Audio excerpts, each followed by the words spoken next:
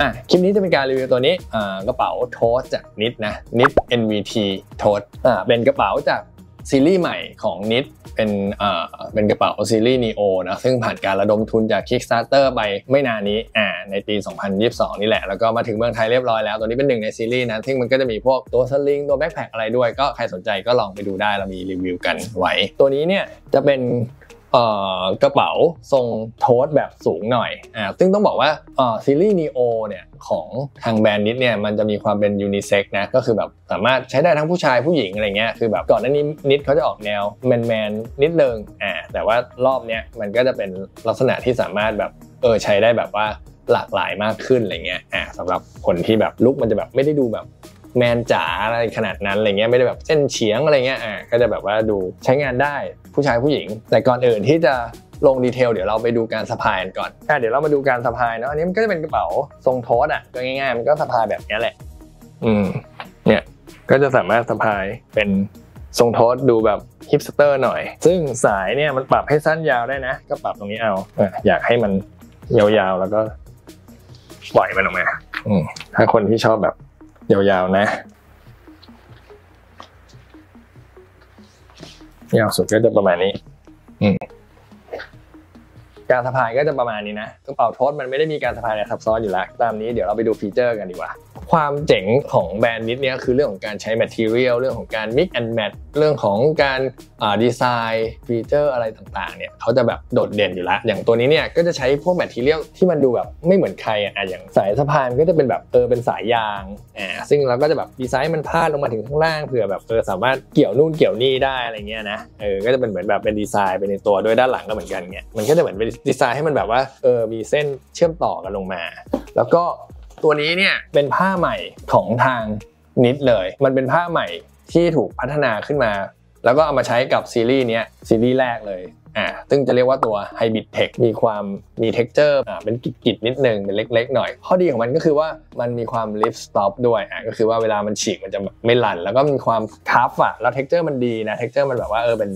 ด้านๆ น้ำหนักเบาด้วย แล้วก็กันน้ำแบบ 100%เลย อันนี้ก็คือน้ำ ไม่เข้าแน่นอน แล้วก็แบบมันขึ้นทรงได้ด้วยอ่าก็คือแบบมันเป็นจุดที่ดีมากก็จะเป็นส่วนประกอบแบบเป็นผ้าหลายๆ layer เหมือนกัน ถ้าเราเคยนึกถึงอาจจะนึกถึงพวก X p a c นะแต่อันนี้จะเป็นอีกผ้าหนึ่งเลย ก็จะเป็นผ้าที่เขาพัฒนาขึ้นข้างหน้าจะเป็นแบบ thermoplastic polyurethane อ่าแล้วข้างหลังมันก็จะเป็นเหมือนแบบ reinforced ripstop webbing นะเอาไว้ซ้อนเข้าไปอีกชั้นหนึ่งเพื่อป้องกันการฉีกขาดอ่าประมาณนั้นก็จะได้ความผ้าที่แบบแกร่งมากอ่าโอเค เรื่องผ้าก็จะประมาณนี้มาดูกระเป๋าดีกว่า อันนี้เป็นทรงที่เราอาจจะไม่ได้เห็นบ่อยนักเนาะสำหรับคนที่เอาไปใช้ใส่โน้ตบุ๊กเนี่ยใส่โน้ตบุ๊กได้ถึง 14 นิ้วเนาะโน้ตบุ๊กแบบ 14 นิ้วลงไปได้เลย ก็สามารถใส่โน้ตบุ๊กได้ถึง 14 นิ้วนะเนี่ยอ่ารูดซิปก็จะพอดีเป๊ะแต่ถ้าแบบเอาแบบสบายๆก็อาจจะพวก 3 นิ้วอะไรเงี้ยอ่า MacBook Air อะไรเงี้ยนะอ่าอันนี้ก็จะแบบพอดีเป๊ะอืมโอเค ช่องใส่โน้ตบุ๊กก็จะอยู่ข้างหลังแบบนี้อ่าซึ่งก็จะเป็นแบบผ้าเงาเงาๆลื่นๆ ด้านในป้องกันแบบพวกการขูดขีดได้ดี มีความนุ่มนิดนึงนะ ไม่ได้บุกนุ่มอะไรมาก เพราะฉะนั้นก็ต้องระวังเนาะอันนี้คือช่องด้านหลัง ซึ่งมันก็จะมีแบบซิปอ่าหัวซิปก็จะตามสไตล์นิดก็จะแบบว่าปั๊มโลโก้นิดไว้แบบนี้อ่าอันนี้ก็คือช่องด้านหลังช่องโน้ตบุ๊กส่วนช่องด้านหน้าตรงนี้ก็ลืมบอกตัวเนี้ยที่เมื่อกี้ที่บอกเนี่ยสามารถปรับความยาวได้นะอ่าเราก็แค่ปรับ ตรงนี้ตัว adjuster ของมันเนี่ยสไลด์ไปสไลด์มาได้ ได้ทั้งด้านหน้าด้านหลัง ส่วนตรงนี้เนี่ยตรงด้านหน้าเนี่ยเขาก็จะเป็นแบบ rubber band ตัวสายเอ่อยางๆ แบบเนี้ยซึ่งก็จะสกรีนโลโก้นิดไว้แล้วก็โลโก้อ่อซีรีส์ที่เป็น neo อ่าตรงนี้แล้วก็อ่อช่องนี้เนี่ย เป็นช่อง magnetic อ่านิดเนี่ยหลายๆคนที่เคยใช้ก็จะรู้ว่าเขาจะแบบชอบใช้มากเลย magnet เนี่ยเนี่ยอันนี้ก็จะแบบปิดง่ายๆ ก็เวลาใส่อะไรด่วนๆเร็วๆ ในช่องนี้อะใส่บัตรใส่มือถือเร็วๆเข้าไปปุ๊บแล้วก็ปิดโอ้โหใส่มือถือเข้าไปปุ๊บอะแล้วก็ปิดเนี่ยอันนี้คือ S22 Ultra นะสามารถใส่แบบเข้าไปอย่างเงี้ยตรงๆได้ก็ยังสามารถลงไปได้เลยอะอันนี้ก็คือช่องด้านหน้า ซึ่งก็จะมีขนาดเท่านี้เลย ในช่องด้านหน้าเนี่ย เนี่ยสังเกตดูว่า เขาจะดีไซน์ให้ตรงตูดมันขยายได้อ่าอันนี้คือการดีไซน์ที่มันดูแบบฉลาดของนิดอะคือเขาทำให้กระเป๋าที่ดูแบนๆเล็ก ๆสลิมสลิมแบบเนี้ยเวลาที่เราต้องการพื้นที่ปุ๊บเนี่ยพอเราใส่ของเข้าไปปุ๊บเนี่ยมันก็จะดันตูด ให้มันขยายออก เพิ่มพื้นที่การใช้งานเวลาที่เราต้องการใช้ได้อันนี้คือแบบสิ่งที่ดีงามของนิดเลยเขามักจะดีไซน์กระเป๋าให้มันดูดีด้วย แล้วก็ใช้งานก็ใช้งานได้แบบเวลาอยากใช้ของใส่ของเยอะๆก็ใส่ได้ด้วย อันนี้ก็คือด้านหน้าช่องหลักก็จะอยู่ด้านบน ซึ่งช่องหลักเนี่ยอันนี้ก็จะเป็นแม่เหล็กเหมือนกันเนี่ยอย่างเงี้ยเห็นไหมส่วนที่เป็นโน้ตบุ๊กอยู่ด้านหลังนะเป็นช่องซิปอันนี้เป็นช่องซิปของโน้ตบุ๊กอันนี้เป็นช่อง main ซึ่ง